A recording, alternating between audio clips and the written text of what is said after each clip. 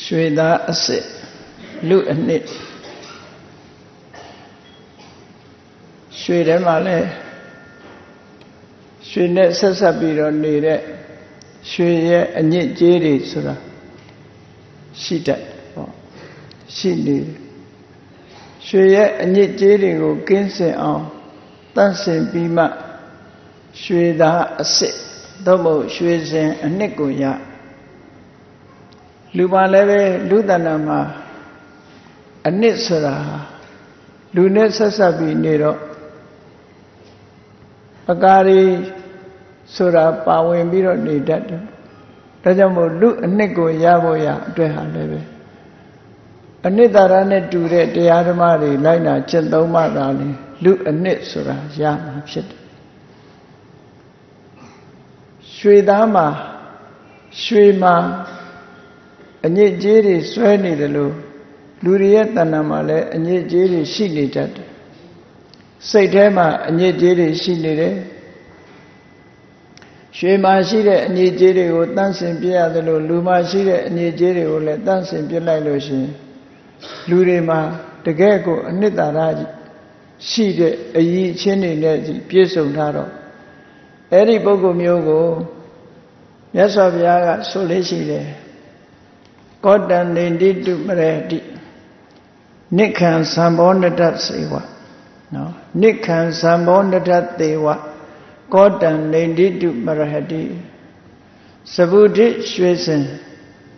သမောနထလို့ဆိုရဲသဗုဒိရွှေစင်တပိတ်တာအတိုင်းတာကလည်းရှိတယ်ပေါ့အဲ့ဒီရွှေစင်တပိတ်တာသဗုဒိရွှေစင်တပိတ်တာဟာ ဒီအနှစ်သာရကင်းအနှစ်သာရအပြည့်အဝဖြစ်နေလို့ကဲ့ရဲ့စရာမရှိသလိုပဲအနှစ်သာရပြည့်ဝနေတဲ့လူတယောက်မှာကဲ့ရဲ့ပြစ်တင်စရာဆိုတာဘာတစ်ခုမှမရှိဘူးဒီလိုဆိုလိုတာပေါ့အလုံးရဲ့ချီးမွမ်းမှုကိုခံရတတ်တယ်ပေါ့နိခံသံဘောနတသေဝဆိုတဲ့ဒီဥပမာစကားနဲ့ရသော်ဘုရားကချီးမွမ်းပြောကြားလိုက်ရှိ ရွှေတွေမှာရွှေရဲ့အညစ်အကြေးတွေကိုဖယ်ထုတ်လိုက်မှရွှေစင်အနှစ်ဆိုတာရတယ်လို့လူတွေရဲ့တဏ္ဍာမှာရှိနေတဲ့စိတ်ဓာတ်မှာဆွဲကပ်နေတဲ့အညစ်အကြေးတွေကိုလည်းပဲထို့တူပဲဖယ်ရှားပစ်လိုက်လို့တကယ်အနှစ်သာရတွေကြီးပဲလိုက်နာကျင့်သုံးနေပြီဆိုတဲ့လူဟာတကယ်ကိုအကဲ့ရဲ့လွတ်တဲ့သို့မဟုတ်မကဲ့ရဲ့ဓာတ်တဲ့ပုဂ္ဂိုလ်ဖြစ်တယ် လောကမှာအကဲ့ရဲ့မခံရတဲ့ပုဂ္ဂိုလ်တော့မရှိဘူးအကဲ့ရဲ့လွတ်တဲ့ပုဂ္ဂိုလ်တော့အကဲ့ရဲ့မကဲ့ရဲ့ထိုက်တဲ့ပုဂ္ဂိုလ်တော့ရှိတယ်အကဲ့ရဲ့မခံရတဲ့ပုဂ္ဂိုလ်ဆိုတာတော့မရှိနိုင်ဘူးပေါ့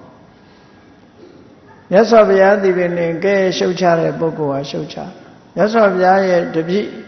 ထိတ်တန်းတာဝကကြီးတွေဖြစ်တဲ့ရှင်သာရိပုတ္တရာတို့ရှင်မောဂလန်တို့တောင်အပြစ်တင်ကဲ့ရဲ့မှုမလွတ်ကြဘူး မြတ်စွာဘုရားကိုယ်တိုင်ဒီပင်လင်ကဲ့ရဲ့ပြစ်တင်မှုမလွတ်ဘူးပြစ်တင်ခံရမှုတွေမလွတ်ဘူးသို့သောကဲ့ရဲ့ပြစ်တင်ခြင်းဆိုဒီမှာကဲ့ရဲ့ပြစ်တင်သူပုဂ္ဂိုလ်ဘက်ကကြည့်ပြီးတော့သာကဲ့ရဲ့တာဖြစ်သောကြောင့်မြတ်စွာဘုရားတို့ရှင်သာရိပုတ္တရာတို့တကယ်ထိတ်တန်းပုဂ္ဂိုလ်ကြီးတွေမှာကဲ့ရဲ့เสียအပြစ်လို့ဆိုတာမြူတစည်းမှာမရှိတဲ့ပုဂ္ဂိုလ်မျိုးတွေ ရွှေစင်တပိတ်တာဟာတန့်စင်နေတယ်လို့ထိုပုဂ္ဂိုလ်တွေရဲ့စိတ်ဓာတ်ဟာလည်းတန့်စင်နေတဲ့ဂုံရည်ချင်းတွေနဲ့ပြည့်စုံတဲ့ပုဂ္ဂိုလ်မျိုးတွေသာဖြစ်တယ်။ဒါကြောင့်မို့ကဲ့ရဲ့ပြစ်တင်စရာလုံးဝမရှိတဲ့ပုဂ္ဂိုလ်မျိုးမကဲ့ရဲ့တိုက်တဲ့ပုဂ္ဂိုလ်မျိုးမကဲ့တိုက်တဲ့ပုဂ္ဂိုလ်ဖြစ်သည့်အတွက်ကြောင့်ကဲ့ရဲ့ခြင်းကလွတ်ကင်းသလားလို့ဆိုတော့ဒါလောကမှာကဲ့ရဲ့ရှုပ်ချခြင်းကလွတ်ကင်းတဲ့ပုဂ္ဂိုလ်ဆိုတာမရှိဘူး ကဲ့ရဲ့တိုက်လို့ကဲ့ရဲ့တာမဟုတ်ဘဲနဲ့ကဲ့ရဲ့တိုက်တာမရှိဘဲနဲ့ချမ်းဖန်ပြီးကဲ့ရဲ့တာကဲ့ရဲ့သူရဲ့အပြစ်တန်လင်ဖြစ်ပြီးတော့နော်အကဲ့ရဲ့ခံရတဲ့ပုဂ္ဂိုလ်ဘက်ကသက်ဆိုင်မှုမရှိဘူးတဲ့ဒါကြောင့်မို့ဘုန်းကြီးတို့တွေသူတစ်ပါးကကဲ့ရဲ့သည်ဖြစ်စေရှုပ်ချသည်ဖြစ်စေပြစ်တင်သည်ဖြစ်စေ ကိုယ်တဏ္ဍာမှာကဲ့ရဲ့စရာရှုပ်ချစရာပြစ်တင်စရာအပြစ်မရှိအောင်ကျင့်ဆောင်မှုကကိုယ့်ရဲ့တောင်းဝန်တရားတစ်ခုပဲပေါ့ကိုယ့်ဘက်ကကြည့်ရသို့တော့ဘသူပဲကဲ့ရဲ့ကဲ့ရဲ့ရှေးဆရာတော်ကြီးတွေပြောတယ်လို့ဘယ်သူပဲကဲ့ရဲ့ကဲ့ရဲ့ဖះမကဲ့ရဲ့စေနဲ့လို့ဖះလို့ဆိုတဲ့ပုဂ္ဂိုလ်မျိုးက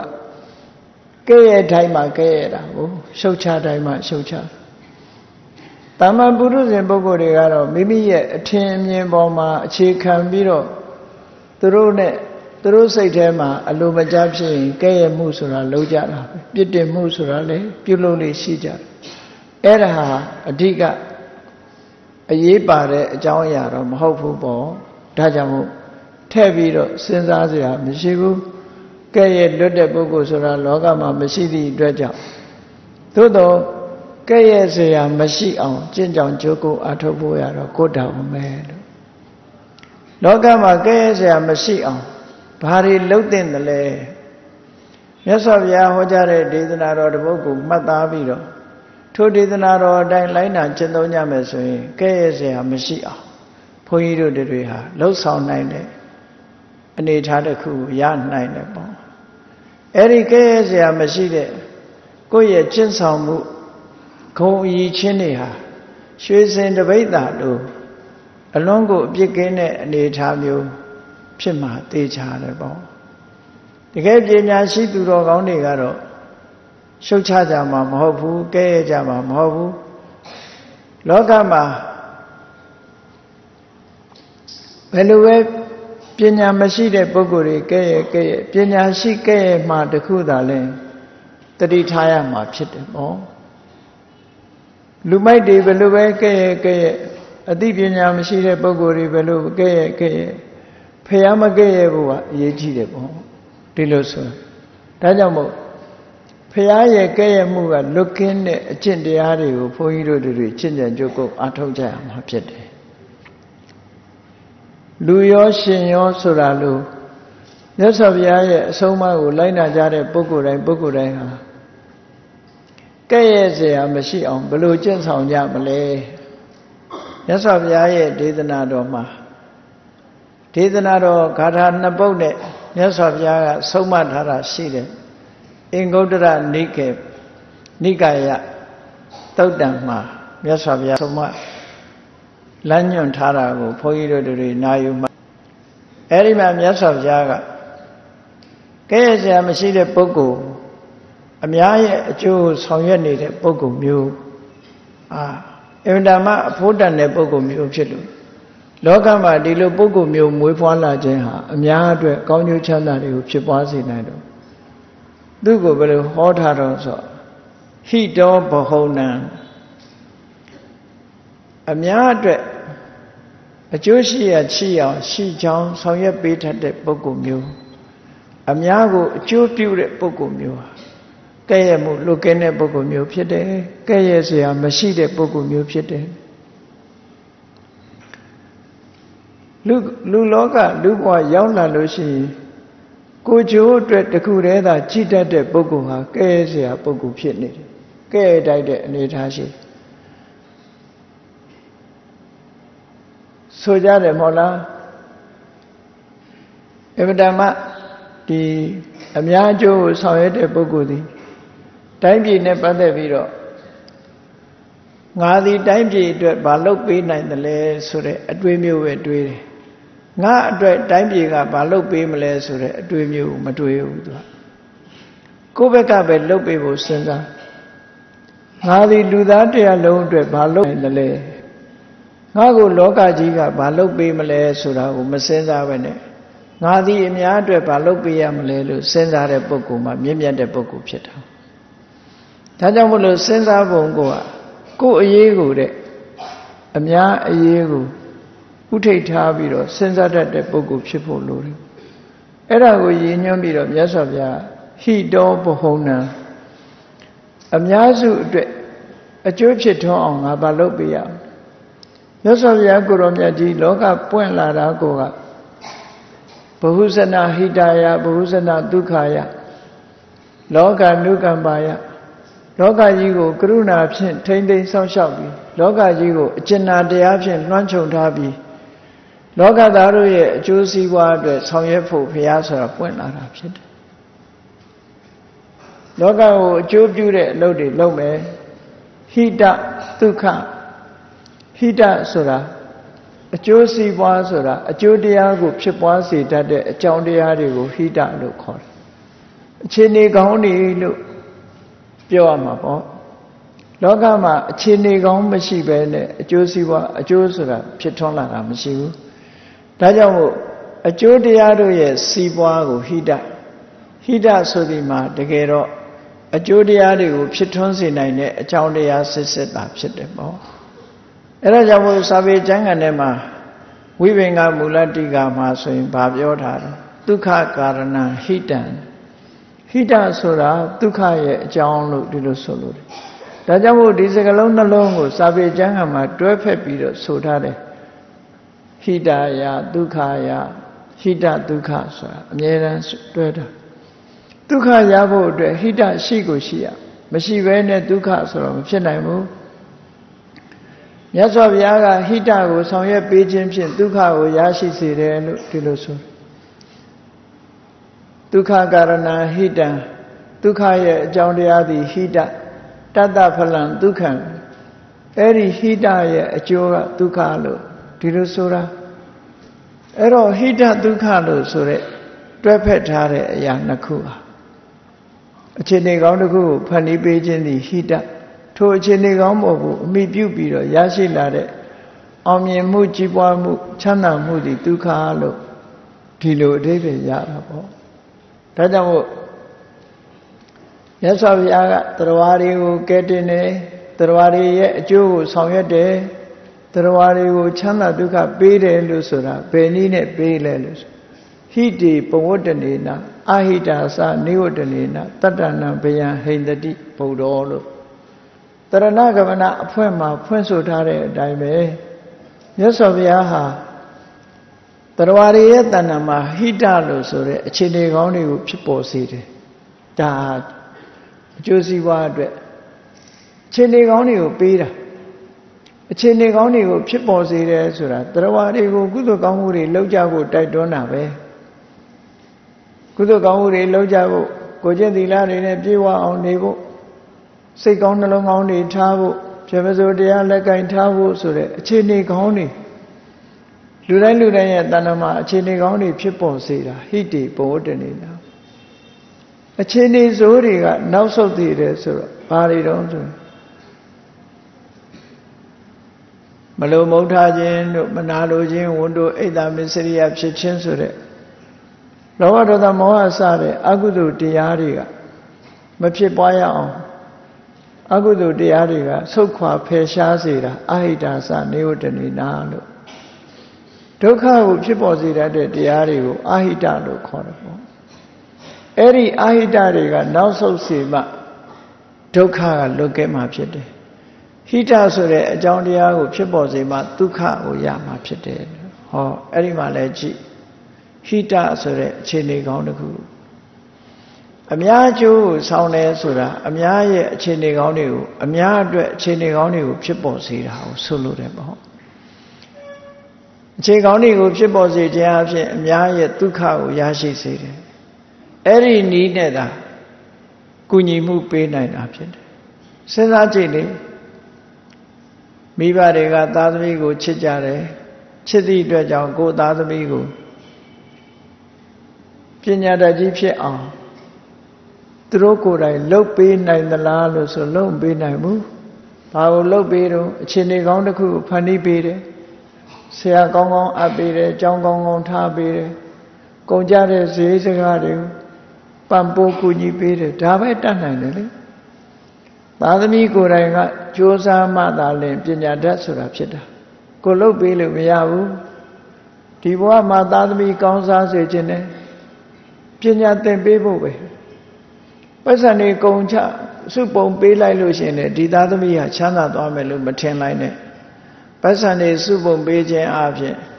ဒီသားသမီးဟာတချို့ကြတော့နော်ပညာမရှိဘူးဆိုလို့ရှိရင်ပုံပေးတဲ့ဓနတွေဟာသူ့အတွက်အန္တရာယ်ကြီးတစ်ခုဖြစ်သွားတယ်ဒီလိုဆိုတာပေါ့မကောင်းတဲ့ဘက်ကိုရောက်သွားတယ်ဒီဘဝမှာလည်းတက်တည်တာရကတွေအများကြီးရှိတာပဲဝိသေဒနာတွေပုံပေးယုံနဲ့လူတယောက်ဟာကြီးပွားသွားတာမဟုတ်ဘူးကြီးပွားသွားခြင်းရဲ့အကြောင်းက သူ့ရဲ့အသိပညာနဲ့ကြိုးစားလုံးလာမှုကြိုးစားအထောက်မှုလုံးလာဝိရိယသာကြီးပွားခြင်းရဲ့အကြောင်းဖြစ်တယ်ပေါ့အေးဒါကြောင့်မို့အများရဲ့အကျိုးကိုဆောင်ရွက်တယ်ဆိုဒီမှာအခြေအနေကောင်းတွေကိုဖန်တီးပေးခြင်းဟာအများရဲ့အကျိုးကိုဆောင်ရွက်တယ်ကောင်းစားစေအောင်လုပ်ပေးကြတယ်အခြေအနေကောင်းတွေဖြစ်ပေါ်အောင်လုပ်ပေးတယ်ဒါကြောင့်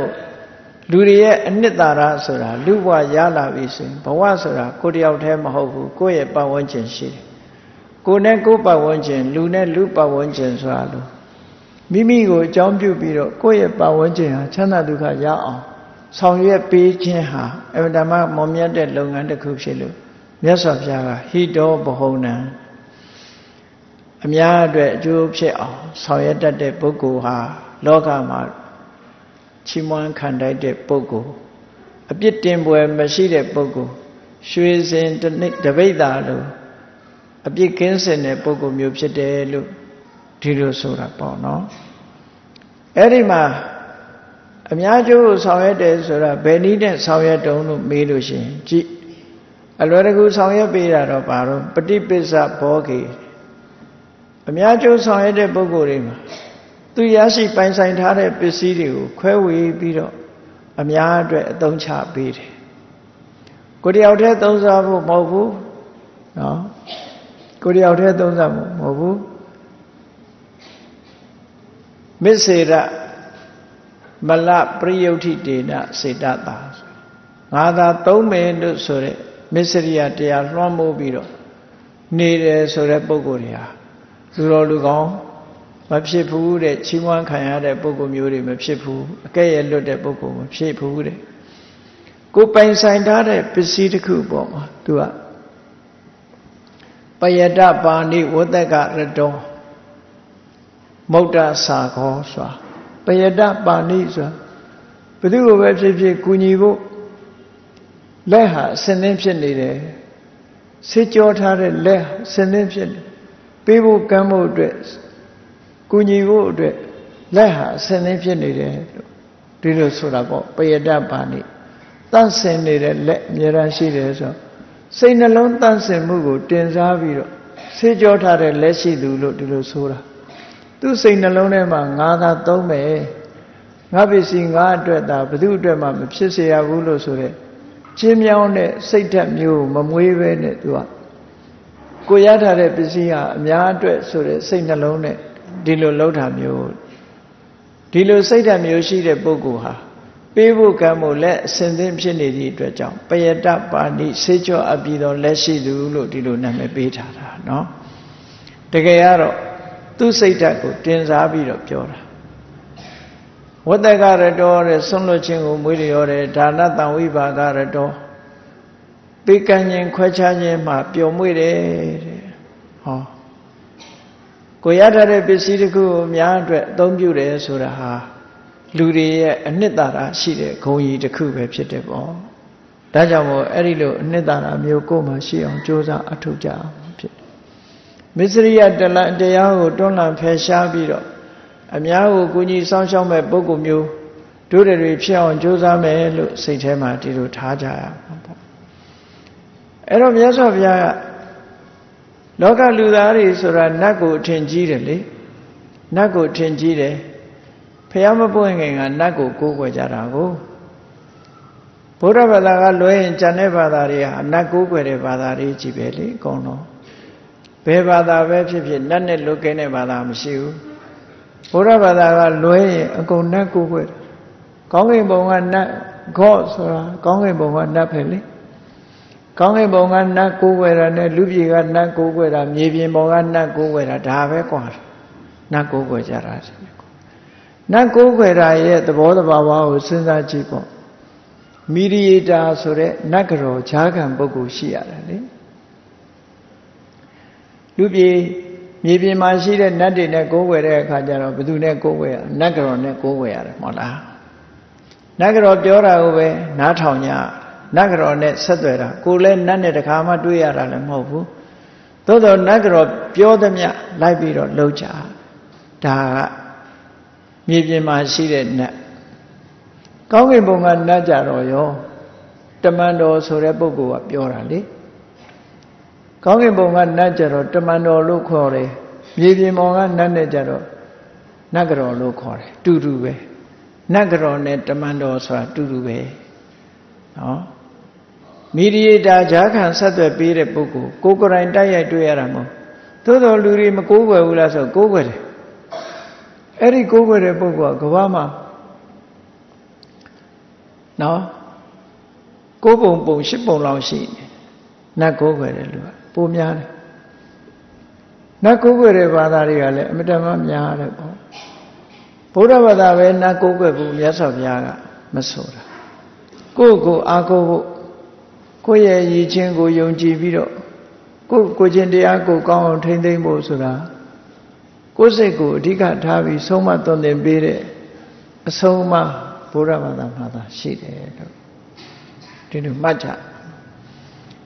အေးဒါကြောင့်မို့မြတ်စွာဘုရားကအကျိုးနဲ့ပတ်သက်လာလို့ရှိရင်လူတွေကနတ်ကိုထင်ကြီးတာရှိသောကြောင့်အခုလို့အများအတွက်ကိုအကျိုးဆောင်တယ်နော်မိမိရှိတဲ့ပစ္စည်းတွေကိုခွဲခြားဝေဖန်ပြီးသုံးဆွဲတတ်တဲ့ဆိုတဲ့ပုဂ္ဂိုလ် တန်ဒေဝတာရက္ခတိအဲ့ဒီပုဂ္ဂိုလ်မျိုးကိုနတ်ကစောင့်ရှောက်ပါတယ်လို့ဒီလိုဟောတာနော်အဲ့တော့တကယ်တော့ဘာလို့ရမှာလဲနတ်ကစောင့်ရှောက်တယ်ဆိုတာဒါအရေးကြီးသလားဆိုအရေးမကြီးဘူးဘာကအရေးကြီးတာတော့ဆိုတော့မြတ်စွာဘုရားအရေးကြီးတဲ့စကားကိုထည့်ပြောတာဓမ္မခုတ်တာနတ်ရဲ့စောင့်ရှောက်ခံရတာမဖြစ်စေဘူးနတ်ရဲ့စောင့်ရှောက်ခံမှုကလုံလောက်သလားဆိုမလုံလောက်ဘူး လုံလောက်တာကဘယ်သူကစောင့်ရှောက်မှလုံလောက်တာလဲဆိုရင်ဓမ္မကကိုယ်စောင့်ရှောက်မှာကိုကျင့်သုံးတဲ့ဓမ္မသည်ကိုယ်ကိုပြန်ပြီးတော့စောင့်ရှောက်တယ်လောကလူတွေကနတ်ကစောင့်ရှောက်တာကိုပို့ပြီးတော့ကျင့်တတ်ကြတယ်နတ်ကစောင့်ရှောက်တာကိုလိုချင်ကြတယ်ဓမ္မကစောင့်ရှောက်တာကိုသိပြီးတော့တမိုးမထားခြင်းကြဘူးအေးဓမ္မောဟဝေရခတိဓမ္မစာရိလို့ဆိုတဲ့အတိုင်း ဓမ္မကိုကိုကိုယ်တိုင်ကစောင့်ရှောက်ပြီးဆိုလို့ရှိရင်ဓမ္မကကိုယ့်ကိုပြန်စောင့်ရှောက်မယ်ကိုယ်တိုင်စောင့်ရှောက်တဲ့ကိုယ်တိုင်ကျင့်သုံးတဲ့ဓမ္မကကိုယ့်ကိုပြန်ပြီးတော့စောင့်ရှောက်တယ်အဲ့ဒီဓမ္မခုတ်တလို့ဆိုတဲ့တရားကစောင့်ရှောက်ခံရတဲ့ပုဂ္ဂိုလ်ကြမှာဒီဒီဘဝမှာလည်းဘေးရအန္တရာယ်တွေကတကယ်လွတ်ကင်းနိုင်တယ်။တန်တရားမှာလည်းပဲအပိငရဲစားတဲ့ဘေးရအန္တရာယ်တွေကလွတ်ကင်းနိုင်တယ်။ ဓမ္မခုတ်တာဓမ္မကဆောင်းရှောက်မှသာလေလုံနေလို့ဒီလိုမှတ်သားကြ။အဲ့တော့ဘုန်းကြီးတို့တွေကိုကျင့်တဲ့တရားကိုကိုကထိမ့်သိဆောင်းရှောက်ကြဖို့လိုအပ်အဲ့ဒါကြောင့်မှတရားကကိုယ်ပြန်ဆောင်းရှောက်အဲ့တော့တရားဆိုတာဘာတွေတုံးလို့မေးလို့ရှိရင်ကိုကသူစရိုက်တရားတွေကိုကျင့်သုံးရမယ်သူစရိုက်တရားတွေကိုကျင့်သုံးရမယ်ဒုစရိုက်တွေကိုရှောင်ကျင်ရမယ်ခုနမြတ်စွာဘုရားက ဒီတရားတွေရဲ့ဘေးရန်အန္တရာယ်ကိုကာကွယ်တဲ့အခါမှာဟိတေဘဝတ္တနေနအဟိတာသနေဝတ္တနေနဆောင်းရံနဲ့ရှောင်ရံဒီနှစ်ခုရှိတယ်အဲ့တော့ရှောင်ရံကိုရှောင်ပြီးဆောင်းရံကိုဆောင်းဖို့ဟာဒါဓမ္မကိုဆောင်းလျှောက်တာပဲဖြစ်တယ်ဓမ္မကိုကိုယ်ကိုယ်တိုင်ကစောင့်ရှောက်မှဓမ္မကကိုယ်ပြန်စောင့်ရှောက်မှဖြစ်တယ်။ဒါကြောင့်မို့ဓမ္မရဲ့စောင့်ရှောက်မှုကိုခံကျင်တဲ့ပုဂ္ဂိုလ်တိုင်းပုဂ္ဂိုလ်တိုင်းဟာ ဒုစရိုက်တရားတွေကိုရှောင်ရှားပြီးသူစရိုက်တရားတွေပွားများအထောက်အမယ်ဆိုတာမေ့မထားသင့်ဘူးတဲ့။သူစရိုက်တရားတွေအထောက်မှကိုကျင့်တဲ့တရားကိုထိမ့်သိမ်းဆောင်ရှောက်ဓမ္မဆိုတဲ့အတိပ္ပယ်ကိုကဘလောက်ကျင့်납เสียကောင်းတော့ဆိုရင်ဒီလူတွေကိုးကွယ်နေတဲ့ဓမ္မန္တရဏံကိစ္ဆာမိလို့ဆိုတဲ့အစွမ်းထက်တဲ့ဓမ္မကိုရည်ညွှန်းပြီးတော့မြတ်စွာဘုရားဘယ်လိုဟော ဒီအထက်ကရာတွေမှာဘယ်လိုဖွင့်ဆိုကြတော့ဆိုစတုတုအပါယေတုအပတမာနေကတ္တဝါဓာရေတိတိဓမ္မောကိုယ်ဆောင်တိန်တဲ့ပုံကိုပယ်လေးပုံမကြရအောင်တရားကထိန်းဆောင်ဆောင်းလျှောက်ပေးထားတယ်လို့ဒီလိုဆိုအဲ့တော့အပယ်လေးပုံမကြအောင်ဒုစရိုက်တရားသူစရိုက်တရားတွေကိုကျင့်သုံးခြင်းဒုစရိုက်တရားကိုရှောင်ရှားပြီးသူစရိုက်တရားတွေကိုကျင့်သုံးခြင်းကလည်းအဲ့ဒီသူစရိုက်တွေကျင့်သုံးခြင်းကလည်းပဲ အပယ်လေးပုံကလွတ်ကင်းအောင်ဒီဓမ္မကပဲဆွမ်းဆောင်ပေးမှာဖြစ်တယ်ပေါ့နောက်တစ်ခါသူစရိုက်တရားတွေကအစစ်မြင့်တဲ့မဂ္ဂင်၈ပါးအကျင့်တရားကိုသမာဓိဋ္ဌိဥဆောင်တဲ့မဂ္ဂင်၈ပါးအကျင့်တရားကိုကျင့်ကြံကြိုးကိုအထုတ်လို့ပေါ့ပေါ့ရောက်ရောက်အောင်အောင်မြင်မြင်ဖြစ်သွားပြီဆိုလို့ရှိရင်တော့တန်တရားဝကလွတ်ကင်းအောင်မှတရားကဆောင်းရှောက်ပေးမှာပဲဖြစ်တယ်ပေါ့တန်တရားတွေကကတင်နိုင်သည့်ထိအောင်တရားကဆွမ်းဆောင်တော့မှာဖြစ်တယ် အအစွမ်းထက်တဲ့ဆေးဟာလူရဲ့တဏ္ဍာမှာဆွဲကပ်နေတဲ့ယောဂါတွေကိုပျောက်ကင်းစလို့ဆေးသလိုပဲအစွမ်းထက်တဲ့ဓမ္မဟာကိုယ်တဏ္ဍာမှာရှိနေတဲ့ကိရိတာဆိုတဲ့အညစ်အကြေးတွေအပေပုံကိုကြားရောက်စေနိုင်တဲ့ကိလေသာအညစ်အကြေးတွေကိုဖယ်ရှားပြစ်နိုင်တယ်လို့ဒီလိုဆိုဒါကြောင့်မို့လို့ဒီဆေးကိုတောက်ခြင်းအပြင်ဆေးကကိုယ့်ကိုကယ်တင်တယ်လို့ပဲဒီတရားကိုကျင့်သုံးအခြင်းအပြင်တရားကကိုယ့်ကိုပြန်ဆောင်းရှောက်မှာဖြစ်တယ်ခုနက နတ်တွေဆောင်းရှောက်တာနဲ့တွဲဖက်ပြီးတော့မြတ်စွာဘုရားနော်နတ်တွေဆောင်းရှောက်တယ်ဆိုတာအပေါ်ယံဆောင်းရှောက်တာသို့တော်လူတွေရဲ့စိတ်ကျဉ်တ်เสียရှိအောင်တန်ဒီဝတရခတိတရားတွေလူကျင်တဲ့နတ်ရဲ့ဆောင်းရှောက်မှုလည်းရမယ်အဲ့ဒီဆောင်းရှောက်မှုရဖို့အတွက်ပိုအရေးကြီးတယ်ဆိုပြီးဓမ္မခုတ်တံလို့ဆိုတဲ့စကားလုံးကိုသုံးလိုက်တာနော်ဒီလိုပေါ့ဓမ္မခုတ်တံဆိုတဲ့စကားလုံးကိုသုံးတယ်တရားရဲ့ဆောင်းရှောက်မှုကိုခံရ အေးအဲ့ဒီမှာဒီလိုတရားရဲ့ဆောင်းရှောက်မှုကိုခံဖို့အတွက်ဘာလုပ်ဖို့လိုသလဲလောကမှာဘောဓုတရှိဖို့လိုအပ်တယ်လေဘောဓုတရှိဖို့လိုအပ်တယ်ဘောဓုတရှိတယ်ဆိုတာဘာလဲမြတ်စွာဘုရားဟောကြားထားတဲ့တရားဓမ္မတွေအဆုံးအမတွေကိုများများသိအောင်တရားနာတာတို့စာပေဖတ်ရှုတာတို့မသိတာတွေကိုမေးတာမြန်းတာအစ တရားနဲ့ဓမ္မနဲ့ပတ်သက်ပြီးတော့လေ့လာလိုက်စားသုတ်တုတာသုတဝဋ္ဌဏီသုတံပညာယဝဋ္ဌနာလို့ဆိုတဲ့အတိုင်းနားထောင်ခြင်းနဲ့စိတ်မှတ်သားခြင်းနဲ့စိတ်လေးလာခြင်းနဲ့စိတ်ဖတ်ရှုခြင်းနဲ့စိတ်သို့မဟုတ်သိခြင်းနဲ့စိတ်ဟာသုတကိုတိုးပွားစေတယ်ပေါ့အဲ့ဒီသုတတိုးပွားမှုကဘာအတွက်ဖြစ်တယ်လဲအသိပညာကိုတိုးပွားစေတယ် ပညာတိုးပွားလာတော့ဘာအကျိုးရှိလဲပညာယအထံသနာတိအထိပ္ပယ်ဘဝအထိပ္ပယ်ကိုနားလဲလာဘဝအထိပ္ပယ်နားလဲလာတော့ဘာဖြစ်တော့ဆိုညာတော့အထောဒုက္ခဝဟောတဲ့ကိုကိုယ်တိုင်သိထားတဲ့အထိပ္ပယ်ကိုယ်ဘဝချမ်းသာမှုအတွက်ဆောင်ရွက်နိုင်တယ်လို့ဒီလိုဆိုဒါကြောင့်မို့လို့နော်အရေးကြီးဆုံးကတရားကိုစောင့်ရှောက်တရားစောင့်ရှောက်တတ်အောင် ဘောဓုတရှိအောင်စီးဖို့အထောက်ကြလို့ဟောလူရဲ့အနှစ်သာရတွေကိုမြတ်စွာဘုရားဒေသနာတော်မှာကာရလေးနှစ်ပုဒ်နဲ့ကျဉ်းကျဉ်းလေးဟောတာဖြစ်ပေမဲ့လို့ကျင့်စရာတွေကုံပြည့်စုံအောင်ဟောပလိုက်တာနော်အေးဟုတ်ပြီဘောဓုတရှိလာပြီတုတ္တတွေရှိလာပြီဆိုရင်ဘာတွေပြည့်စုံလာနိုင်တုံးလို့ဆိုသီလဝတ္တုပပန္နံသီလကိုချင်းသီလနဲ့ပြည့်စုံလာတယ် ကိုချင်းသီလနဲ့ပြည့်စုံလာသလိုကိုချင်းသီလနဲ့ပတ်သက်ပြီးတော့စောင့်တည်ထားတဲ့ကိုချင်းတရားတွေနဲ့လည်းပြည့်စုံလာတယ်ဟောသီလဝတ္တသီလဆိုတာကောင်းမြတ်တဲ့အလေးအကျင့်ကိုသီလလို့ခေါ်တာဝတ္တဆိုတာလုံးပမယ်လို့ခံယူစောင့်တည်ထားတဲ့အဋိဋ္ဌံထားတဲ့အကျင့်ကိုဝတ္တလို့ခေါ်တယ်အဲ့ဒီသီလဝတ္တနှစ်ခုပြည့်စုံအောင်ကောင်းမြတ်တဲ့အလေးထားတွေလည်းကိုယ်တဏ္ဍမှာရှိအောင်ကြိုးစားရမယ် ဝတ္တလို့ဆိုတဲ့ထိုကောင်းမြတ်တဲ့အကျင့်အတိုင်းလိုက်နာကျင့်သုံးပါမယ်လို့ဆိုတဲ့တဏိဋ္ဌံချမှတ်ပြီးတော့ကျင့်သုံးနေတာလည်းရှိရမယ်တဲ့ဟောတိတုဒ္ဒရှိလာပြီဆိုရင်သီလနဲ့လည်းပြည့်စုံလာတယ်ကိုချင်းသီလတွေကောင်းလာတယ်အကျင့်တရားတွေနဲ့လည်းပြည့်စုံလာတယ်အဲ့ဒါလို့ပြည့်စုံလာတဲ့ပုဂ္ဂိုလ်တယောက်ဟာကိုကိုယ်တိုင်ကကျင့်သုံးနေတဲ့တရားဆိုတော့တရားပေါ်မှာယက်တည်တယ်လို့ဒီလိုပြောတာနော် လူလောကရောက်လာပြီဆိုလို့ရှိရင်ဓမ္မပေါ်ယက်တည်မှဂုံကြီးဆိုတာတက်တာပေါ့အေးမတရားဘူးဆိုတော့ဓမ္မရဲ့ဆန့်ကျင်ဘက်တွေလုံနေတဲ့ပုဂ္ဂိုလ်တယောက်ဟာဘယ်တော့မှဂုံကြီးချင်းတက်လာမှလည်းမဟုတ်ဘူးလူကောင်းတွေရဲ့အတိုင်းဝိုင်းထဲမှာလည်းပဲသူ့ရဲ့ဂုံတရင်ဟာပြန့်သင်းမှာမဟုတ်ဘူးတဲ့ဒါကြောင့်မို့မြတ်စွာဘုရားကနော် ယောသသီလဝတ္တံကံတော်ဝါတိဒေဝေတုဥတ္တမောလူတယောက်ရဲ့ကိုချင်းသီလရဲ့ခုံတရင်ဟာနတ်ပြည်တိုင်အောင်ပြန့်ပြန့်သင်းတယ်ကောင်းတဲ့ခုံတရင်ဆိုတာလူတရင်လူချင်းဆောင်ပန်းတရင်လေညင်းဆောင်ဆောင်းသွားတယ်လို့လူတယောက်ရဲ့ခုံတရင်ဟာလူပြည်လူလောကကိုကြော်ဖြတ်ပြီးတော့နတ်ပြည်တိုင်အောင်ပြန့်ပြန့်နှံ့မွေးကြိုင်သွားစေတယ်ဒီလိုဆိုတာပေါ့ ဒါကြောင့်မို့လို့ဓမ္မေထိတံနဝိဇဟတိကိဋ္တိကြော်စောခြင်းဆိုတဲ့ဂုံတရင်ကြော်ကြားမှုဟာ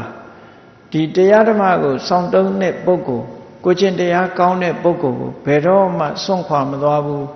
ဆိုလိုတာကကြော်ကြားခြင်းနဲ့ဆိုတဲ့ပုဂ္ဂိုလ်ဟာတရားဓမ္မကိုကျင့်ကြံကြိုးကိုအားထုတ်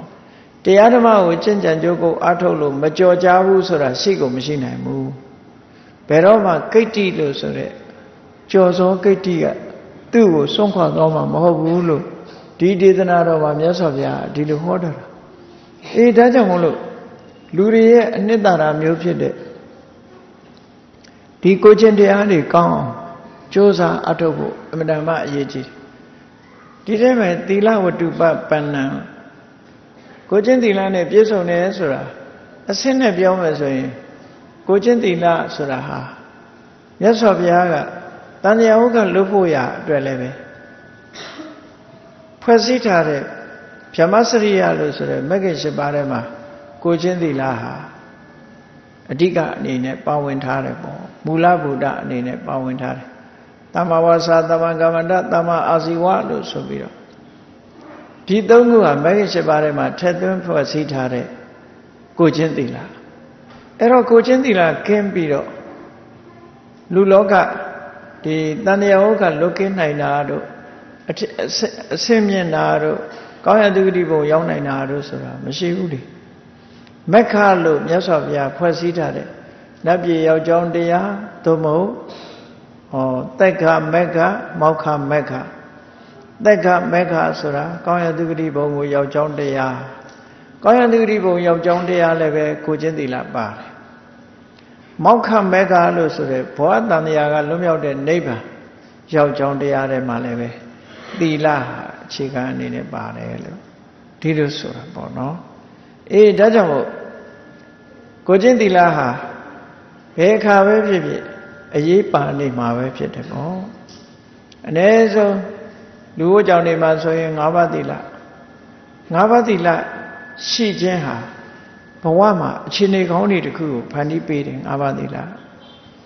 ဘယ်လိုအခြေအနေကောင်းတွေဖန်တီးပေးထားတော့ပါဏာတိပါဒမှာလုံသည့်အတွက်ကြောင့်ပါဏာတိပါဒကရှောင်သည့်အတွက်ကြောင့်ဖြစ်လျာဘဝမှာအသက်ရှည်တဲ့ယောဂခင်းနဲ့ကျမ်းမာတယ်ဟောဒီအကျိုးတွေရတယ်ပေါ့နော်ပါဏာတိပါတိမှာရှောင်ခြင်းကြောင့်ရလာတဲ့အကျိုးတွေကြည့်နေပါဏာတိပါဒမှာမရှောင်ဘူးဆိုလို့ရှိရင် အပယုကတောင်းတဏိကောတဲ့ပါဏာတိပါဒရဲ့အပေါ်ဆုံးအပြစ်ဟာနော်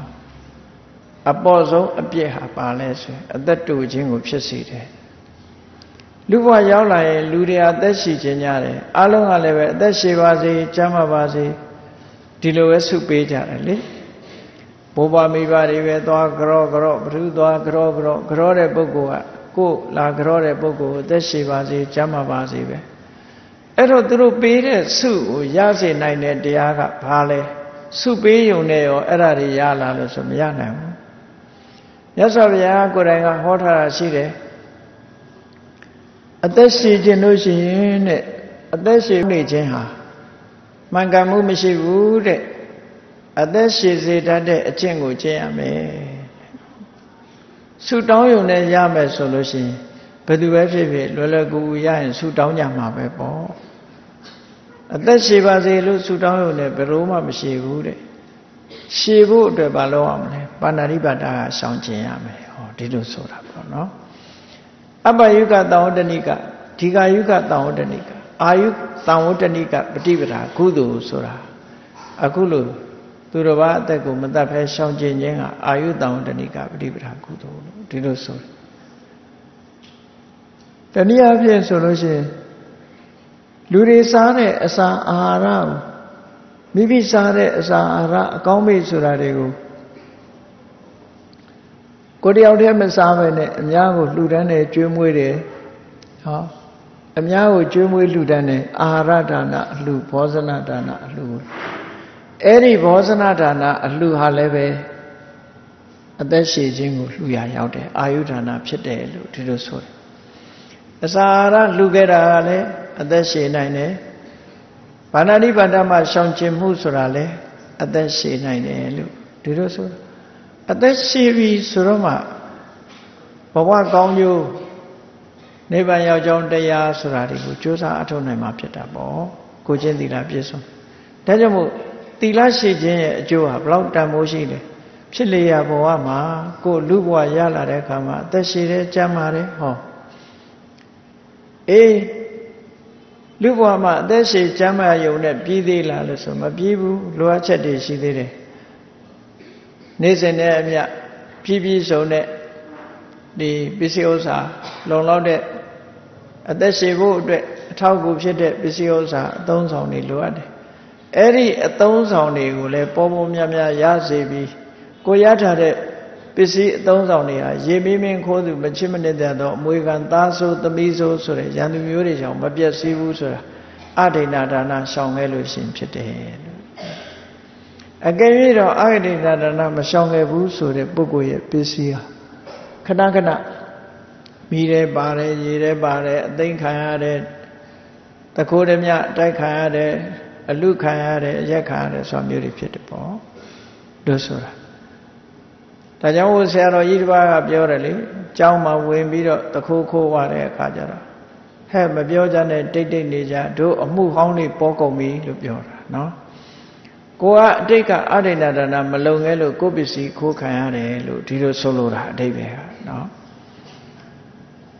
အေးလူဘဝရောက်လာရင်ပစ္စည်းဥစ္စာနဲ့လည်းပြည့်ပြည့်စုံစုံရှိတယ်နောက်ပြီးတော့ကိုယ်ပစ္စည်းလည်းပျက်စီးမှုမရှိဘူးဆိုအရိဏနာနာလုံခြင်းရဲ့အကျိုးပဲ ကာမိတုမိစ္ဆာစာရလုံခြင်းရဲ့အကျိုးကိုကြည့်မယ်ဆိုရင်လောကမှာကာမိတုမိစ္ဆာစာရကျွလွန်တဲ့ပုဂ္ဂိုလ်ဟာအရက်ထဲမှာလည်းပဲဒီလူမုန်းခံရတဲ့ပုဂ္ဂိုလ်ဖြစ်တယ်နောက်ဆုံးမှာတကယ်ကျွလွန်တာမဟုတ်ဘူးဒီစသဖြင့်ထဲမှာဖြစ်စေရုပ်ရှင်ထဲမှာဖြစ်စေသေယုတ်ဆောင်ရတဲ့ပုဂ္ဂိုလ်တောင်မှလူမုန်းခံရလို့လူကြားမထွက်ရဲဘူးဒီလိုကာမေတုမေဆာဆာရာကျွလွန်တဲ့ပုဂ္ဂိုလ်ဟာအဲ့ဒါလောက်ထိအောင် လူတွေရဲ့မုန်းတိမှုကိုခံရတတ်တယ်ဒါကြောင့်မို့ကာမေတုမေဆာဆာရာဆောင်ကျင်တဲ့ပုဂ္ဂိုလ်ဟာလူချင်းလူခင်ပေါ်တယ်လို့ဒီလိုဆိုတာနောက်တစ်ခုမူတဝါဒမရှောင်ကျင်ခဲ့တဲ့ပုဂ္ဂိုလ်ရဲ့အပေါ်ဆုံးအပြစ်ကိုပြောမယ်ဆိုလို့ရှိရင်အပုဒ္ဒအဘုဒ္ဓဘက်ခန္ဓာအဘုဒ္ဓဘက်ခန္ဓာမဟုတ်တဲ့နီးနဲ့မဟုတ်မတရားမမှန်မကန်ပဲနဲ့ကိုယ်ကိုဆွဆွဲခံရတယ် အဘုဒ္ဓအဘက်ခန္ဓာမဟုတ်တာနဲ့ကိုယ်ကိုဆွဆွဲပြီးတော့ပြောခံရတယ်လောကမှာအဲ့လိုဆွဆွဲခံရတဲ့ပုဂ္ဂိုလ်တွေအများကြီးရှိတယ်ကိုလှုပ်တာမဟုတ်ဘဲနဲ့ထောင်တန်းကြသွားတယ်ပြစ်ဒဏ်ပေးခံရတယ်ဆိုတဲ့ပုဂ္ဂိုလ်မျိုးတွေရှိအဲ့ဒီပုဂ္ဂိုလ်တွေလည်းအမှုဟောင်းပေါ်တာပဲလို့ပြောလင်းဒီပြောခဲ့တဲ့ပုဂ္ဂိုလ်ဟာအဲ့ဒီလိုမဟုတ်မမှန်နေနဲ့ဆွဆွဲခံရတာမျိုးဖြစ်တတ်တယ် မုဒ္ဒဝါဒကရှောင်ကျင်ခဲ့မယ်ဆိုလို့ရှိရင်မဟုတ်မမှန်ဆွဆွဲပြောဆိုတာတွေကိုယ်မှမခံရဘူးဆိုတော့လူဘဝမှာပြည့်စုံတဲ့အနေအထားတစ်ခုနောက်တစ်ခါသူရမေရယဆိုတာကြည့်မူရစေဝါစားသုံးတဲ့ပုဂ္ဂိုလ်တယောက်မူရတဲ့ဆိုတဲ့ကပင်ကိုအသိစိတ်ပျောက်သွားပင်ကိုအသိပျောက်တဲ့ဆိုတဲ့ကသူကဟိုပုံမှန်အနေအထားမျိုးမရှိတော့ဘူးပေါ့ ခိတခဏယူသွတ်သွားခြင်းပဲဖြစ်တယ်ပေါ့အဲ့ဒါလို့ခဏခဏဒီအရေးတောက်လို့ခဏခဏအယူဘဝရောက်လို့ရှိရင်လေနောင်ကြလို့ရှိရင်အကျင့်ကြီးပါသွားပြီးတော့တန်တရားမှာလည်းပဲအယူအမှုဖြစ်တတ်တယ်အေးအပေါ်ဆုံးအပြစ်ပြောမယ်ဆိုလို့ရှိရင်အသိဉာဏ်ထုံထိုင်းတဲ့ပုံကုမျိုးဖြစ်တယ်ပေါ့ဟောကဲလူဘဝဆိုတာကိုယ့်ကိုယ်စဉ်းစားကြည့်လူဖြစ်လာပြီလူတော့ဖြစ်ကြတယ်တူလားမတူဘူး လူဖြစ်လာပြီဆိုရင်အသက်လည်းရှည်ရမယ်ကျန်းလည်းကျန်းမာရမယ်ပစ္စည်းဥစ္စာလည်းပေါ်များရမယ်လူချစ်လူခင်နဲ့ပေါ်ရမယ်နော်မတရားဆွဆွဲတာလည်းမခံရဘူးအိုင်ကျူမြင့်နဲ့ bright ဖြစ်တဲ့လူမျိုးလည်းဖြစ်ရမယ်ဆိုတော့ဒါမှပြည့်စုံအဲ့ဒါဟာငါးပါးသီလရဲ့အကျိုးတွေပဲလို့ဒီလိုဆိုလိုတယ်ပေါ့ဒါကြောင့်ငါးပါးသီလနဲ့ပြည့်စုံမှုဟာအလွန်တရာကြီးမားတဲ့အကျိုးကျေးဇူးတွေကိုရနိုင်တယ်ဒါကလောကမှာရနိုင်တဲ့အကျိုးတွေ အဲ့ဒီကနေတဆင့်မြင့်ပြီးတော့သွားမယ်ဆိုလို့ရှိရင်ကိုချင်းတီလာရှိခြင်းအပြင်ဘာတွေကိုထောက်ကူပြုတော့လို့မေးလိုက်မယ်ဆိုတီလံအဝိပတိတာရယကိုချင်းတီလာရှိတဲ့ပုဂ္ဂိုလ်တယောက်ဟာကိုတီလာကိုကိုစဉ်းစားစဉ်းစားရင်အနဝိဇ္ဇဒုက္ခလို့ဆိုတဲ့အပြစ်ကင်းတဲ့ချမ်းသာမျိုးရတယ်ပြစ်ကင်းတဲ့ချမ်းသာမျိုးရတော့ဘယ်အခါပြန်တွေးတွေးစိတ်နှလုံးဟာကြည်အေးနေတာအဝိပတိတာရာနှလုံးမသားမရမဖြစ်ဘူးတဲ့ နှလုံးကြည်တာမှုဖြစ်တယ်အဲ့တော့နှလုံးကြည်တာမှုကဘာကိုဖြစ်ပေါ်စေတုံးဆိုပါမောဇာဆိုတဲ့ဝမ်းမြောက်မှုကိုဖြစ်စေဝမ်းမြောက်မှုကဘာကိုဖြစ်စေတုံးဆိုပီတိကိုဖြစ်စေပီတိကဘာကိုဖြစ်စေတုံးဆိုပတ္တတိလို့ဆိုတဲ့ကိုယ်စိတ်ငြိမ်းချမ်းမှုကိုဖြစ်စေကိုယ်စိတ်ငြိမ်းချမ်းမှုကဘာကိုဖြစ်စေတုံးလို့ဆိုဒုက္ခချမ်းသာမှုကိုဖြစ်စေတယ်ချမ်းသာကတခါဘာကိုဖြစ်စေတုံးဆိုတမာတိစိတ်တည်ငြိမ်မှုကိုဖြစ်စေတယ် တမာတိကဘာကိုဖြစ်စေပြန်တုံးဆိုယထာဘူတညာဏတဒနာအမှန်ကန်သိတဲ့ဉာဏ်အမြင်မျိုးကိုရစေတယ်ဟောတီလာကနေအကျိုးပြုလိုက်တာကြည့်တယ်တီလာကအကျိုးပြုလိုက်တော့မဂ္ဂင်၈ပါးထဲမှာဒီတီလာကအကျိုးပြုလိုက်တာဘယ်ထိရောက်သွားလဲတမာတိနဲ့ပညာထိရောက်သွားတယ်ဒီလိုဆိုတာပေါ့နော်ဒါကြောင့်မို့သီလသည်နတ်ပြည်နတ်ရွာကောင်းရတုတိဘုံကိုလည်းရောက်စေတယ် မဂ္ဂင်၈ပါးအကျင့်တရားထဲမှာကျင့်ကြံကြိုးကိုအထုခြင်းဖြင့်တမာတိကိုလည်းရင့်ကျက်စေတယ်ပညာကိုလည်းပဲထက်မြက်စေတယ်ဟောသီလကနေသွားတဲ့ဟာတွေပဲအေးဒါကြောင့်မလို့သီလဝတ္တုပပန္နကိုချင်းသီလနဲ့လည်းပြည့်စုံရမယ်အဲ့ဒီကိုချင်းသီလကိုပဲစောင့်တည်ထားတဲ့ဝတ္တဆိုတဲ့အကျင့်နဲ့လည်းပြည့်စုံရမယ်အဲ့ဒီလိုပြည့်စုံတဲ့ပုဂ္ဂိုလ်တယောက်ဒီဓမ္မတွေပေါ်ယက်တည်နေတဲ့ပုဂ္ဂိုလ်ကြော်စောကိတ္တိကဘယ်တော့မှဆွန့်ခွာမသွားဘူး ကြော်စောကိတ္တိဟာရှိနေမှာပဲလို့ဒီလိုဆိုတာပေါ့နော်အဲ့ဒါကိုပဲမြတ်စွာဘုရားကထတ်ချဲ့ပြီးတော့ဘယ်လိုဟောတော့ဆိုဓမ္မထံသီလတံပန္နသစ္စာဝါထိဟိရိမနံဓမ္မထဆိုတာခုနသူစရိုက်တရားတွေပေါ်မှာတည်ရှိတာလည်းပဲဓမ္မထပဲဒီတဲ့အစစ်မြင်လာတဲ့အခါကျတော့ဝိပဿနာကျင့်စဉ်တစ်ခုကိုကျင့်လာလို့ဝိပဿနာ ကိုကျင့်ဝိပဿနာအကျင့်တရားကိုကျင့်ကြံကြိုးကိုအားထုတ်နေတဲ့ပုဂ္ဂိုလ်ဟာလေဓမ္မထပဲဝိပဿနာတရားကျင့်ကြံကြိုးကိုအားထုတ်လာသည့်အတွက်ကြောင့်ဖြစ်ပေါ်လာတဲ့မက်စိတ်ဖို့စိတ်မက်ဖို့စိုက်ထိသွားလို့ရှိရင်လေလောကုတ္တရာတရားဆိုတဲ့ဓမ္မပေါ်မှာယက်တည်သွားတယ်သောတာပန်ဖြစ်သွားတယ်တဂရကံဖြစ်သွားတယ်အနာကံဖြစ်သွားတယ်ယန္နာဖြစ်သွားတယ်အဲ့ဒီပုဂ္ဂိုလ်မျိုးဟာဓမ္မထပဲတရားပေါ်မှာတည်ရှိနေတဲ့ပုဂ္ဂိုလ် ခိုင်ခိုင်မာမာတည်ရှိတယ်။ဉာဏ်နဲ့တည်ရှိမှုတွေကဒီပြောင်းလဲသွားနိုင်နေတယ်ပေါ့။သောတပတိမက္ခသောတပတိဖလလို့ဆိုတဲ့ဒီလောကုတ္တရာဓမ္မပေါ်မှာယက်တည်သွားမယ်။တဂရဂာမိမက္ခဖလလို့ဆိုတဲ့ဓမ္မပေါ်မှာယက်တည်သွားမယ်။အနာဂာမိမက္ခဖလဆိုတဲ့ဓမ္မပေါ်မှာယက်တည်မယ်။အရဟတမက္ခဖလလို့ဆိုတဲ့ဓမ္မပေါ်မှာယက်တည်သွားတဲ့ပုဂ္ဂိုလ်ကတော့အပြောင်းလဲမရှိတော့ဘူး ဘယ်တော့မှဆုံးရှုံးပြက်ပြားသွားတာမျိုးမရှိတော့ဘူးလို့ဒီလိုဆိုလို့ရတယ်ပေါ့တဆင်ပြီးတဆင်မြင့်တဲ့တာမြင့်သွားအဲ့ဒါလို့လောကုတ္တရာတရားတွေအောင်အစစ်မြင့်တဲ့အစစ်မျိုးကိုရောက်နိုင်သည့်အထိအောင်မြတ်စွာဘုရားကလမ်းစဉ်မှာခင်းပြထားတာเนาะအဲ့ဒီလမ်းကြောင်းကသွားရင်တကယ်လူအနှစ်ဆိုတာကိုရရှိတယ်အဲ့ဒီကိုရရှိဖို့အတွက်ဘာအခြေခံရမလဲလို့ဆိုရင်သီလတမ္ပန္နကိုကျင့်သီလကိုအခြေခံပါတဲ့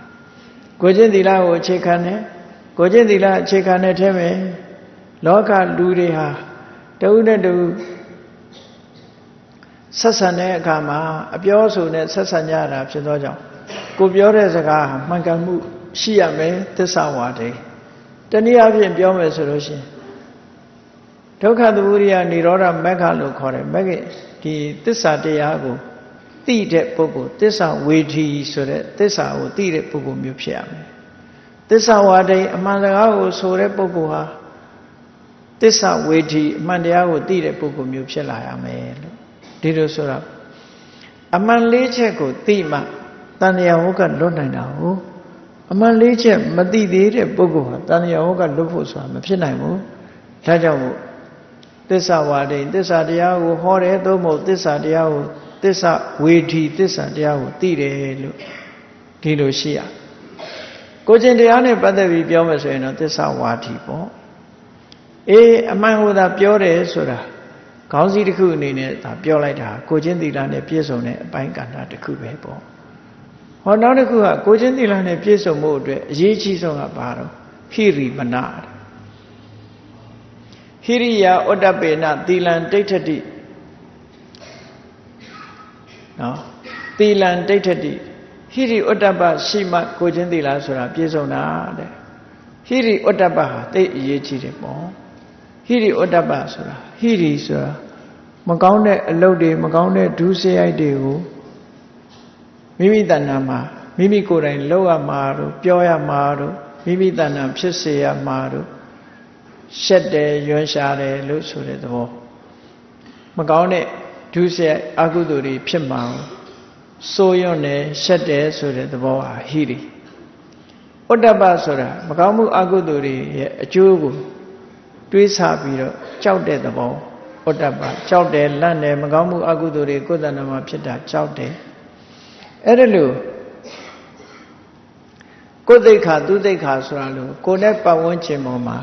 တလေးတစားရှိနေတဲ့စိတ်ဓာတ်ကိုယ့်ကိုလေးစားတာဟိရိ ပတ်ဝန်းကျင်ကိုလေးစားတာဥဒ္ဒပကိုယ့်ကိုလေးစားပြီးတော့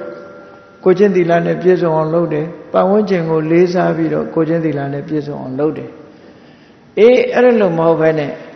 လူမိုက်စကားပြောမယ်ဆိုရင်အိုင်တော့ကဲငါဘယ်သူမှကိူးမဆိုင်ဘူးဆိုတာမျိုးပြောတတ်တယ်လေလူတွေကအိုင်တော့ကဲဆိုတာမမှန်ဘူးသူဟာကိုလှုပ်ချင်တာလှုပ်လို့မရဘူးကောင်းတဲ့အလုပ်လုပ်ရမှာအဲ့တော့ ဘယ်သူမှကိူးမဆိုင်ဘူးလှုပ်ချင်တာလှုပ်မယ်ဆိုတဲ့ပုံကိုယ်တွေဟာဥတ္တပကင်းမဲ့ပြီးတော့အာဟိရိကအနုတ္တပဆိုတဲ့ဒီတရားတွေလွှမ်းမိုးခံထားရတဲ့ပုဂ္ဂိုလ်တယောက်ဟာလူတော်လူကောင်းဖြစ်မလာဘူးလို့ဒီလိုပြောတာဘယ်တော့မှလူတော်လူကောင်းဖြစ်မလာဘူးဒါကြောင့်မို့အခြေခံအဖြစ်ဒီသစ္စာဝါဒိဟိရိမနံဟိရိမနရှက်တဲ့စိတ်ရှိရမယ်ရှက်တဲ့စိတ်ဆိုတာမကောင်းတဲ့အလုပ်ကိုလုပ်ရမှာရှက်တဲ့စိတ် နော်မကောင်းတဲ့အလုပ်ကိုလုပ်ရမှာရှက်တဲ့စိတ်ကြောက်လန့်တဲ့စိတ်ဟိရိဥဒ္ဒပရှိရအဲ့ဒီဟိရိဥဒ္ဒပရှိမှလူလောကကြီးဟာလူရဲ့ခုံသိက္ခာတွေရှိတာခဏိခိတ်ကလူတွေကတော့လူရဲ့ခုံသိက္ခာဆိုတာသိမသိကြတော့သိမသိပဲနဲ့အတန်ကျဲနေတာဘာတွေကျဲနေတော့ဆိုလူအခွင့်အရေးဆိုတာပဲအတန်ကျဲတယ်အခွင့်အရေးပဲရကြတယ်လေ human right human right ဟိုနာလဲ right ပဲ right ပဲပြောနေမဲ့အစား human dignity ရောရှိကြရလားလို့ကိုယ့်ကိုစဉ်းကျင်သုံးသပ်ကြည့်အောင်လူတွေရဲ့ကိုချင်းတရားရောရှိရလားလူဆိုရင်လူရဲ့တိတ်ခါကိုကျင့်သုံးဆောက်တည်ရလားဆိုတာဟာအရေးကြီးတယ်ပေါ့ right ကိုသာတောင်းဆိုပြီးတော့နေကြတယ် dignity ကိုတောင်းဆိုကြတာမရှိဘူးလူလောကကြီးဟာအဲ့ဒါဆုပ်ယုပ်နေတဲ့အတိုင်းအတာတစ်ခုကိုဖော်ပြနေတာပဲတကဘာလုံးဟာအတန်ကျဲနေတာလူအခွင့်အရေးဆိုပြီး လူအခွင့်အရေးကြီးပဲစကားပြောနေတယ်လူရဲ့ဂုံသိက္ခာဆိုတာကိုတော့စကားပြောကြတော့ဘူးလေအဲ့တော့လူရဲ့ဂုံသိက္ခာကပိုရေးကြီးတယ်လူရဲ့ဂုံသိက္ခာကိုပြောတာမြတ်စွာဘုရားတပါးပဲရှိတယ်လူအခွင့်အရေးလို့မပြောဘူးလူရဲ့ဂုံသိက္ခာလို့ပဲပြောတယ်အဲ့တော့လူရဲ့ဂုံသိက္ခာကသိအရေးကြီးတယ်အဲ့ဒီဟိရိဥတ္တပဆိုတာလူရဲ့ဂုံသိက္ခာပဲသုတ်တန်တစ်ခုမှမြတ်စွာဘုရားက ဟိရိနဲ့ဥတ္တပကိုလောကပါဠတရားလို့ဒီလိုဟောထားတယ်လောကဆိုတာလူလောကကြီးကိုကာကွယ်စောင့်ရှောက်ထားတဲ့တရားလို့ဆိုလိုတာအကယ်၍သာဟိရိဥတ္တပလူတွေရဲ့တဏ္ဍာမှာပျောက်ကွယ်သွားပြီ human dignity လို့ခေါ်နိုင်တဲ့ဒီတရားနှစ်ခုလူတွေရဲ့တဏ္ဍာမှာမရှိတော့ဘူးဆိုရင်လူနဲ့တရိษံဘာမှမချတော့ဘူးဒီလိုပြောတာเนาะလူလောကသည်ရှော့ကြသွားမယ်ဘယ်အဆင့်ထိရှော့ကြသွားမလဲ တရိษံလောကအဆင့်ထိရှော့ကြအခုချိန်မှာတရိษံလောကအဆင့်နီးနီးရောက်လာကြပြီပေါ့လူတွေတော်တော်များများလူဦးရေနဲ့ကြည့်မယ်ဆိုရင် human dignity ရှိတဲ့ပုဂ္ဂိုလ်တွေကနည်းလာပြီ human right ကိုပဲတောင်းဆိုနေကြတယ်လူအခွင့်အရေးတွေပဲတောင်းဆိုနေကြတယ် dignity ဆိုတဲ့လူသိက္ခာတွေကကြာဆင်းလာတယ်ကြာဆင်းလာသည့်အတွက်ကြောင့်လူလောကကြီးတစ်ခုလုံးဟာတိရစ္ဆာန်လောကနဲ့တူးလာပြီးတဖြည်းဖြည်းဒီလိုဆိုလိုတယ်ပေါ့ အဲ့ဒါကြောင့်မို့လို့မြတ်စွာဘုရားဒီတရားမှာဟိရိမနာလူတွေရဲ့ဂုဏ်သိက္ခာတစ်ခုဖြစ်တဲ့ဟိရိတရားနဲ့ပြည့်စုံမှုလိုအပ်တယ်လို့ဒီလိုဆိုတာနော်အဲ့ဒါလို့ဟိရိဆိုတဲ့သဘာဝတရားဥဒ္ဒပဆိုတဲ့သဘာဝတရားနှစ်ခုဟာလူလောကကြီးကိုထိမ့်သိမ်းဆောင်ဆောင်နေလို့တကယ့်ကိုဖြူစင်တဲ့တရားလို့သုတ်ကဓမ္မလို့ဒီလိုလဲဟောထားတာရှိတယ်ဖြူစင်တဲ့တရား လောကမှာဖြူစင်တဲ့တရားတွေမရှိဘူးဆိုရင်မဲညစ်တဲ့တရားတွေအစားဝင်လာမဲညစ်တဲ့တရားဆိုတာအဟိရိကနဲ့အနုတ္တပါခေါင်းဆောင်ပြီးတော့ဝင်လာမှာပဲအေးအရှက်မရှိဘူးအကြောင်းမရှိဘူးကိုကိုကိုသိက္ခာကိုမထဲဘူးသူများရဲ့ပတ်ဝန်းကျင်ကိုမလေးစားဘူးဆိုလို့ရှိရင်အာဟိရိကနဲ့အနုတ္တပါပဲပေါ့အဲ့ဒီအာဟိရိကအနုတ္တပဟာအကုသိုလ်မှန်သမျှအတွက်တကယ်ကိုလမ်းဖွင့်ပေးနေတဲ့သဘာဝတရားနှစ်ခုဖြစ်လို့ လောကကြီးကိုပျက်စီးစေတတ်တဲ့တရားလို့ဟိရိဥတ္တပကိုလောကပါဠတရားလို့ခေါ်လို့ရှိရင်အာဟိရိကနဲ့အနုတ္တပကလောကကိုဖျက်တတ်တဲ့တရားလို့ဒီလိုဆိုလို့ရတာလောကကိုပျက်စီးစေတတ်တဲ့တရားလောကကိုဖျက်ဆီးမဲ့တရားတွေဟာလူတွေရဲ့တဏ္ဍမှာလွှမ်းမိုးကြီးစိုးပြီးတော့လာပြီလို့ဆိုရင်လူလောကကြီးဟာသိသိမ့်မိမ့်မိပြီးပျက်စီးဆုံးရှုံးသွားဖို့ပဲဖြစ်တယ်လို့ဒီလိုဆိုတာပေါ့နော်အေးအခုပြောခဲ့တဲ့အတိုင်းကြည့် ဓမ္မထတဲ့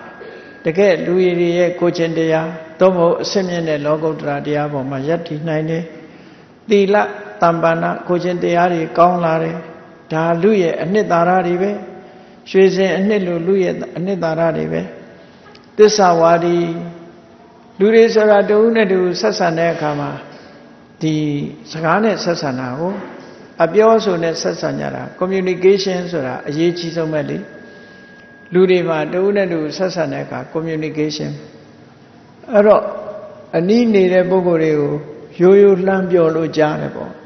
အဝေးနေတဲ့ပုဂ္ဂိုလ်တွေပြောဖို့အခုတော့တယ်လီဖုန်းတွေပေါ်နေတာပေါ့နော်အဲ့ဒါတွေနဲ့ဆက်သွယ်ပြီးတော့ပြောနေတာဘာတွေနဲ့ပဲပြောပြောနှုတ်နဲ့ပဲပြောပြောတယ်လီဖုန်းနဲ့ပဲပြောပြောကိုပြောတဲ့အပြောဟာမှန်ကန်တဲ့အပြောဖြစ်ဖို့လိုတယ်ပေါ့ဒါကိုဆိုလိုတာနော်ကိုပြောတဲ့စကားဒီအလေးအညာမဖြစ်စေရဘူး နောက်ဆုံးပဲမြတ်စွာဘုရားရဲ့တွင်တင်ဆုံးမချက်အတိုင်းပဲစကားပြောတော့မယ်ဆိုလို့ရှိရင်မြတ်စွာဘုရားကနော်ဘူတေနဝက်ခာမိနောအဘူတေနမှန်တာပဲပြောမယ်မမှန်တာမပြောဘူးဆိုတာကိုယ့်ကိုထိမ့်သိမ်းဆောင်ရှောက်ထားတယ်တခုဘူတေနဝက်ခာမိနောအဘူတေနဟုတ်တာပဲပြောရမယ်အေးဟုတ်တာပြောရင် ဟုတ်တာပြောတိုင်းကောင်းသလားလို့ဆိုဟုတ်တာပြောတိုင်းမကောင်းဘူးအဲ့တော့အကျိုးရှိမှပြောမယ်အထတန်ဟိတေနဝက်ခာမိနောအနတ္ထတန်ဟိတေနအကျိုးရှိတာပဲပြောမယ်အကျိုးမရှိတာမပြောဘူးဟောဒုတိယဟုတ်ပြီမှန်လဲမှန်တယ်အကျိုးလည်းရှိတယ်အမြဲတမ်းပြောနေရမှာလားလို့ဆိုမဟုတ်ဘူးကာလေနဝက်ခာမိနောအာကာလေနပြောသင့်မှပြောရမယ်ပြောတဲ့အချိန်ရောက်မှပြောရမယ် စိကံချက်တွေကအန္တမကောင်းတယ်ရသော်ဘုရားရဲ့စိကံချက်တွေအိမ်တိုင်းအိမ်တိုင်းမှာရေးထားဖို့ကောင်းတဲ့စိကံချက်တွေဟုတ်တာကိုသာပြောမယ်မဟုတ်တာကိုမပြောဘူးအကျိုးရှိတာကိုသာပြောမယ်အကျိုးမရှိတာကိုမပြောဘူးပြောတဲ့အချိန်ရောက်မှပြောမယ်ပြောတဲ့အချိန်မရောက်ရင်မပြောဘူးဟောနံပါတ်3နံပါတ်4ကျတော့ဟုတ်ပြီပြောဖို့ရလဲအချိန်တန်းလာပြီမှန်လဲမှန်တယ်အကျိုးလည်းရှိတယ်ပြောဖို့လည်းအချိန်တန်းလာပြီဘယ်ပုံပြောမှလဲ ရိုင်းရိုင်းဆိုင်ဆိုင်ကြမ်းကြမ်းထန်ထန်ပြောမှလားရင်ရင်ကြီးကြီးပြောမှလားလို့ဆိုနော်တန်နေနဝက္ခမိနောဖရုသေနရင်ကြီးကြီးပြောပါမယ်ရိုင်းရိုင်းဆိုင်ဆိုင်မပြောပါဘူးဟောရသော်ဗျာဒီလိုဆုံးမတာဟုတ်ပြီအဲ့ဒါနဲ့တင်လုံလောက်ပြီလားနှုတ်ထွက်ကလေးချိုယုံနဲ့ရောလုံလောက်သလားဆိုမလုံလောက်သေးဘူးနှုတ်ထွက်ချိုရင်စိတ်ကလည်းပါဖို့လိုသေးတယ်ဒါကြောင့်မို့ မေတ္တာစိတ်တော်ဝက်ခာမိနောဒေါသံတရေနာတဲ့မေတ္တာစိတ်နဲ့ပဲပြောမယ်ဒေါသနဲ့မပြောဘူးအတွင်းစိတ်ကဒေါသဖြစ်ပြီးပြောတာမျိုးမဖြစ်စေရလူတွေကနှုတ်ထွက်တော်ချိုခြင်းချိုပဲအတွင်းကအကောက်ကြံနေတာမျိုးကရှိတတ်သေးတာဟုတ်ဒါကြောင့်မို့လို့အင်တာမတန်မိုးရှိတဲ့အဆုံးအမတွေကိုတို့တွေရထားရတဲ့နဲ့မလိုက်နာဘူးဆိုလို့ရှိရင်ဘယ်သူအပြစ်ဖြစ်မလဲဆိုကိုယ့်အပြစ်ပဲဖြစ်မှာပဲဒါလူတွေရဲ့အနှစ်သာရဆိုတာဒါတွေပဲ အေးမြတ်စွာဘုရားဒီဒေသနာတော်ကိုဘလို့ဏိကုံးချုပ်တုံးလို့ဆိုတော့နိခံသံဘောနတတေဝကောတံနေတိတုမရဟတိအခုလို့ကိုချင်းသီလနဲ့လည်းပြည့်စုံတယ်မှန်ကန်တဲ့စကားကိုလည်းပြောဆိုလို့ရှိတယ်မကောင်းမှုအကုသိုလ်တွေကလည်းရှက်စိတ်ရှိတယ်ကိုချင်းတရားကောင်းတဲ့အပေါ်မှာသို့မဟုတ်အစစ်မြင့်တဲ့လောကုတ္တရာတရားပေါ်မှာတည်ရှိနေတဲ့ပုဂ္ဂိုလ် အရိယာပုဂ္ဂိုလ်အဆင့်ရောက်သွားတဲ့ပုဂ္ဂိုလ်ဟာနိခံသံဘောနရတေဝသဘူရိရွှေစင်တပိတ်တာနော်အနှစ်သာရနဲ့ပြေဝနေတဲ့သဘူရိရွှေစင်တပိတ်တာလို့ပဲတဲ့ကောတံနေတိတုမရဟတိသူ့ကိုကဲ့ရဲ့ဖို့ဘယ်သူထိုက်မလဲဘယ်သူကဲ့ရဲ့ထိုက်မလဲသူ့မှာကဲ့ရဲ့ထိုက်တဲ့အပြစ်အနာစာတစုံတစ်ခုမှမရှိဘူးတဲ့ဒါကြောင့်မို့လူဆိုတာတော့ချင်းမွမ်းခြင်းမှာချင်းမွမ်းမှာရသော်ဗျာမကဲ့ရဲ့ထိုက်ဘူး တကယ်ကိုသိတဲ့ဒေဝပိနံပတန်တန္တိဗြမုနာပိပတန်တိတော်နတ်တွေကလည်းသူ့ကိုချီးမွမ်းမှဖြစ်တယ်ဗြမာတွေကလည်းချီးမွမ်းမှဖြစ်တယ်လူစိတ်သိတဲ့နတ်တွေဗြမာတွေကတော့ကဲ့ရဲ့ကြမှာမဟုတ်ဘူးသူတို့ကတော့ချီးမွမ်းစကားဆိုကြမှာဖြစ်တယ်ဒါကြောင့်ရွှေသားရွှေသားအစ်စ်လူအနှစ်ဆိုတာဒီကိုချင်းတရားတွေသာဖြစ်တယ်ဆိုတာကိုစီကိုစီမှတ်သားကြဖို့ပဲ ဒီဒေသနာတော်ကမြတ်စွာဘုရားရဲ့အဆုံးအမဒီလိုဟောကြားတာဖြစ်တယ်အေးဒါကြောင့်တရားချက်ခင်သူတော်စင်ပြိဿအပေါင်းတို့ဘုရားမြတ်စွာရဲ့အဆုံးအမဖြစ်တဲ့လူတွေရဲ့တန်ဖိုးအနှစ်သာရရှိတဲ့ခုံခုံအည်ချင်းတွေမိမိတို့တဏ္ဍာမှာတကယ်ရှိနေပြီဆိုရင်ရွှေစင်တဏိခအပြစ်တင်စရာတခုမရှိသလိုမိမိတို့ဘဝဟာလည်းပဲရွှေသားအစစ်ခဲ့လို့အပြစ်တင်စရာမရှိတဲ့ခုံရည်တွေနဲ့ပြေးဝတဲ့လူသားဖြစ်အောင် ကျင့်ကြံကြိုးကိုအားထုတ်တော်မူနိုင်ကြပါစေကုန်သတည်း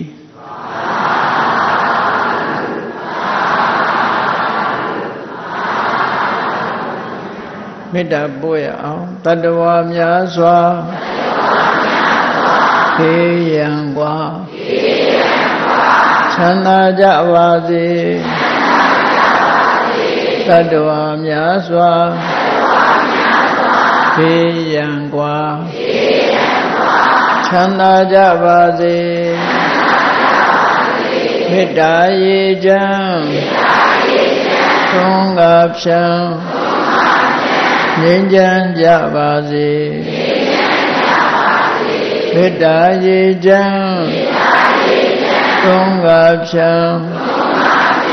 ငြိမ်းချမ်းကြပါစေ